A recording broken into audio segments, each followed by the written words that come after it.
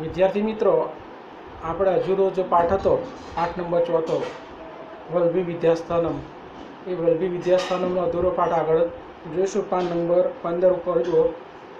એતત સૂચયતી યદ. એતત એટલે એ સૂચયતી યદ એટલે કે સૂચવે છે કે અત્ર અહીં જૈન એટલે કે જૈન, બૌદ્ધ એટલે કે બૌદ્ધ, જૈન દર્શન અને બૌદ્ધ દર્શન પણ. અધ્યયનમ એટલે અધ્યયન પ્રચલતિસ્મ એટલે કે ચાલતું હતું. એ સૂચવે છે કે અહીં જૈન દર્શન અને બૌદ્ધ દર્શનનું અધ્યયન પણ ચાલતું હતું. અત્ર અહીં યથારુચિ એટલે રુચિ પ્રમાણે, અભિરુચિ પ્રમાણે, યથામતી અને મતિ પ્રમાણે એટલે કે બુદ્ધિ પ્રમાણે છાત્રાહ એટલે વિદ્યાર્થીઓ અપઠન એટલે ભણતા હતા. અહીં રુચિ પ્રમાણે અને મતિ પ્રમાણે વિદ્યાર્થીઓ ભણતા હતા. પ્રવેશ અર્થમ પ્રવેશ અર્થમ એટલે કે પ્રવેશ માટે અત્ર એટલે અહીં પ્રવેશ માટે અહીં પ્રવેશ પરીક્ષામાં એટલે કે પ્રવેશની પરીક્ષા પણ પ્રવેશ માટે અહીં પ્રવેશની પરીક્ષા પણ ભવતિસ્મ એટલે કે થતી હતી ચાલતી હતી પ્રવેશ માટે અહીં પ્રવેશ પરીક્ષા પણ ચાલતી હતી થતી હતી તામ ઉત્તીર્ણ એટલે કે તેમાં ઉત્તીર્ણ થઈને જ તામ ઉત્તીર્ણ એટલે હું તેમાં ઉત્તીર્ણ થઈને જ છાત્રાસ્ય એટલે કે વિદ્યાર્થીનો પ્રવેશ એટલે કે પ્રવેશ અત્ર લહી શક્ય આશિત એટલે કે શક્ય થતો હતો. તેમાં ઉત્તીર્ણ થઈને જ અહીં વિદ્યાર્થીનો પ્રવેશ શક્ય હતો. આટલું ફકરું જોઈ લી પાછળ. આ સૂચવે છે કે અહીં જૈન દર્શન અને બૌદ્ધ દર્શનનું અધ્યયન પણ ચાલતું હતું.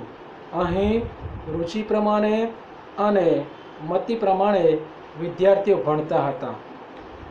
પ્રવેશ માટે અહીં પ્રવેશ પરીક્ષા પણ હતી. તેમાં ઉત્તીર્ણ થઈને જ અહીં વિદ્યાર્થીનો પ્રવેશ શક્ય હતો. ખ્રિસ્તાશ્ય એટલે ઈસુ ખ્રિસ્તની પંચમ્યામ એટલે કે પાંચમી શતાબ્દીમાં એટલે કે સદીમાં. ઈમમ ઈદમ એટલે કે આ ઉપનગરમ એટલે કે પરુ. ઈસુ ખ્રિસ્તની પાંચમી સદીમાં આ પરુ મૈત્રકા નામ રાજધાની આશિત. મૈત્રકા નામ એટલે કે મૈત્રક રાજાઓનું રાજધાની એટલે કે પાટનગર આશિત એટલે કે હતું. ઈસુ ખ્રિસ્તની પાંચમી સદીમાં આ પરુ મૈત્રક રાજાઓનું પાટનગર હતું.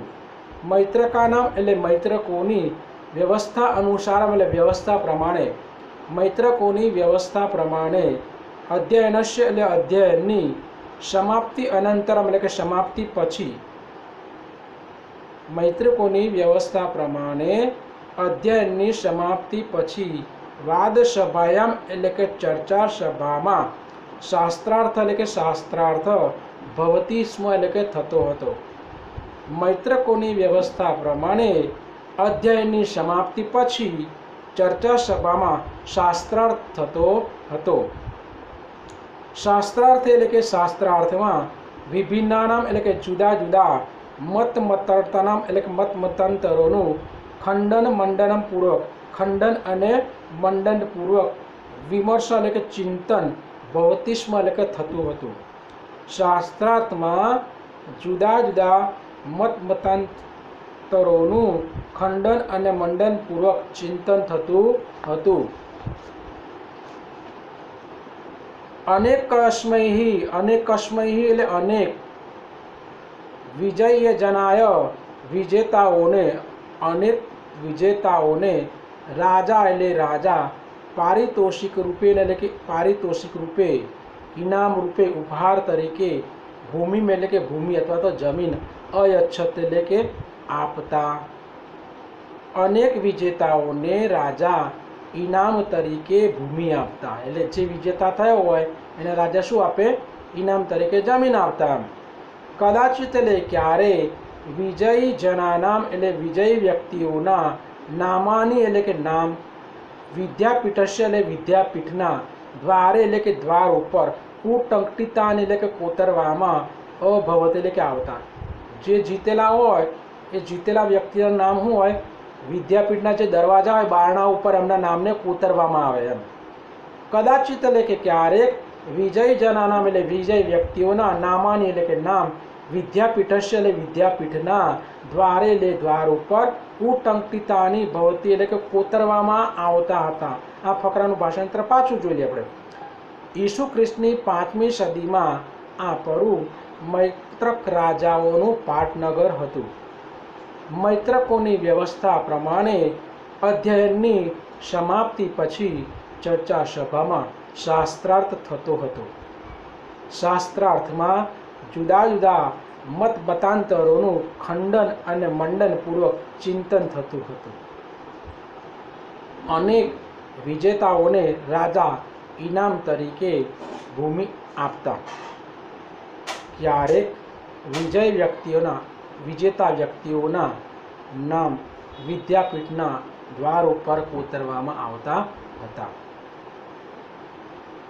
ખ્રિસ્તા ઈસુ ખ્રિસ્તની પૂર્વમાં એટલે કે પહેલાં ઈસુ ખ્રિસ્તની પૂર્વે પ્રાયઃ એટલે કે ઘણું ખરું કરીને પંચમમ સદાયા શત શતાબ્દ્યામ પાંચમી સદીમાં ઈસુ ખ્રિસ્ત પૂર્વે ઘણું કરીને પાંચમી સદીમાં ભગવત, એટલે કે ભગવાન. મહાવીરસ્ય, એટલે કે મહાવીરનો જન્મ, એટલે કે જન્મ અભવત, એટલે થયો હતો. ઈસુ ખ્રિસ્ત પૂર્વે ઘણું કરીને પાંચમી સદીમાં ભગવાન મહાવીરનો જન્મ તસ્મિન કાલે, એટલે કે તે સમયે ભગવતા, એટલે ભગવાન, મહાવીરે ને એટલે મહાવીરે યહ, એટલે જે ઉપદેશ, એટલે ઉપદેશ પ્રદત્ત, એટલે આપ્યો હતો. સહ એટલે તે આગમ નામના આગમના નામે પ્રસિદ્ધ વર્તતે એટલે કે પ્રસિદ્ધ પામ્યો છે, જાણીતો છે. તે સમયે ભગવાન મહાવીરે જે ઉપદેશ આપ્યો છે, તે આગમ નામે જાણીતો છે, પ્રખ્યાત છે. અયમ આગમ, આ આગમ વર્ષ પંચશતમ પાંચસો વર્ષ સુધી. અયમ આગમ હું, આ આગમ વર્ષ પંચશતમ પાંચસો વર્ષ સુધી મૌખિક પરંપરાયામ, મૌખિક પરંપરામાં સુરક્ષિત એટલે કે સુરક્ષિત, આશિત એટલે કે હતો. આ આગમ પાંચસો વર્ષ સુધી મૌખિક પરંપરામાં કેવો હતો? સુરક્ષિત હતો. એવમ હિ શ્રૂયતે એવું સાંભળવામાં આવે છે, એવું સંભળાય છે કે ખ્રિસ્તસ્ય ઈસુ ખ્રિસ્તના તૃતીયાયામ શતાબ્દ્યા ત્રીજી સદીમાં ત્રીજી સૈકામાં નાગાર્જુન નામના એટલે નાગાર્જુન નામે પ્રસિદ્ધ એટલે કે પ્રસિદ્ધ વિદુષ એટલે વિદ્વાનની અધ્યક્ષતાયામ એટલે અધ્યક્ષતામાં એકામ એટલે એક જૈન સાધુનામ એટલે કે જૈન સાધુની સમિતિ એટલે કે સમિતિ મિલિતા એટલે મળી હતી એવું સાંભળાય છે કે એવું સાંભળવા મળ્યું છે કે ઈસુ ખ્રિસ્તની ત્રીજી સદીમાં નાગાર્જુન નામે પ્રસિદ્ધ વિદ્વાનની અધ્યક્ષતામાં એક જૈન સાધુઓની સમિતિ મળી હતી, સભા મળી હતી. અશ્યામ એટલે કે આ આગમ ગ્રંથાના આગમ ગ્રંથોનું લેખનશ્ય એટલે કે લેખનનું પ્રસ્તાવ એટલે કે પ્રસ્તાવ અભવત એટલે કે થયો હતો. આમાં આગમ ગ્રંથોનું લેખનના પ્રસ્તાવ થયો હતો. અત્ર એટલે અહીંયા લેખન બધા વાણી લખાણથી બદ્ધ થયેલી.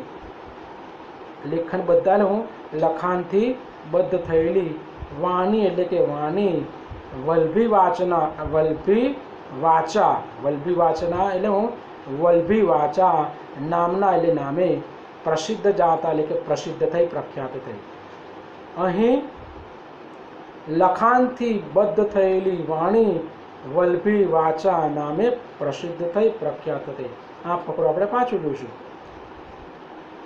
ઈસુ ખ્રિસ્તની પૂર્વે ઘણું કરીને પાંચમી સદીમાં ભગવાન મહાવીરનો જન્મ થયો હતો તે સમયે ભગવાન મહાવીરે જે ઉપદેશ આપ્યો હતો તે આગમ નામના નામે જાણીતો છે પ્રસિદ્ધ છે આ આગમ પાંચસો વર્ષ સુધી મૌખિક પરંપરામાં સુરક્ષિત હતો. એવું સંભળાય છે કે એવું જાણવા મળે છે કે ઈસુ ખ્રિસ્તની ત્રીજી સદીમાં નાગાર્જુન નામે પ્રસિદ્ધ વિદ્વાનની અધ્યક્ષતામાં એક જૈન સાધુઓની સમિતિ મળી હતી, સભા મળી હતી. આમાં આગમ ગ્રંથોના લેખનનો પ્રસ્તાવ થયો.